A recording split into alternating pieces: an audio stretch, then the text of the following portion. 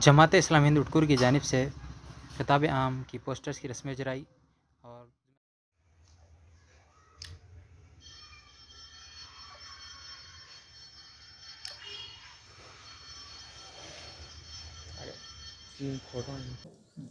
السلام علیکم ورحمۃ اللہ وبرکاتہ۔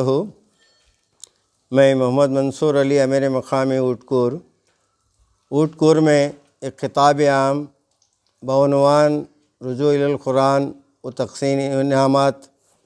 زیر صدارت جناب محمد خواجہ صاحب، ناظم ضلع محبوب نگر، مہمان خصوصی جناب عبدالعزیز صاحب، ریاستی صدر ایم پی جے، اسی طرح مہمان مقررین جناب اعزاز محی الدین وسیم صاحب، خطیب و صدر مسجد عزیزیہ، مہدی پٹنم حیدرآباد، جناب ڈاکٹر حافظ امام الدین محسن عمری و مدنی صاحب، پیش امام مسجد عزیزیہ مہدی پٹنم حیدرآباد بتاریخ چھ نومبر دو ہزار باویس بروز اتوار بعد نماز مغرب، بمقام مدرسہ فیض الہدا۔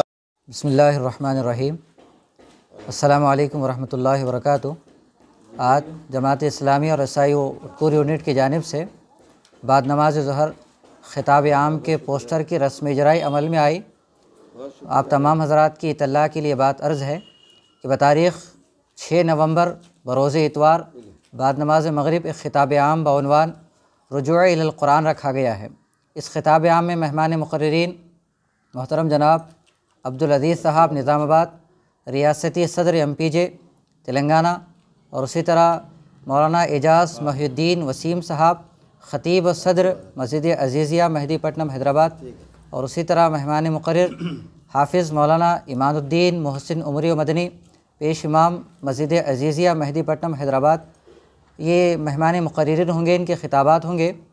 اس کے علاوہ سائیو اٹکور یونٹ کی جانب سے ماہ ربیع الاول میں جو بچوں کے لیے سیرت کے موضوع پر جو ایکٹیویٹیز سیرت کوئز اور سیرت نالج ٹیسٹ رکھا گیا تھا، اور بچوں میں نماز کا شوق پیدا کرنے کے لیے تیس روزہ جو صلاۃ مہم رکھی گئی تھی، اس کے انعامات بھی انشاءاللہ اس خطاب عام میں تقسیم کیے جائیں گے۔ اور اس خطاب عام میں تمام شرکاء کے لیے بعد جلسہ تعام کا نظم رہے گا۔ خواتین کے لیے مدرسہ فیض الہدا کی اوپری منزل پر پردے کا نظم رہے گا۔ آپ تمام مرد و خواتین، بچوں سے، نوجوانوں سے تمام سے ہماری ادباً گزارش ہے کہ آپ تمام کے تمام اس خطاب عام میں شریک ہو کر اس خطاب عام کو کامیاب بنائیں۔ چھ نومبر بروز اتوار بعد نماز مغرب مدرسہ فیض الہدا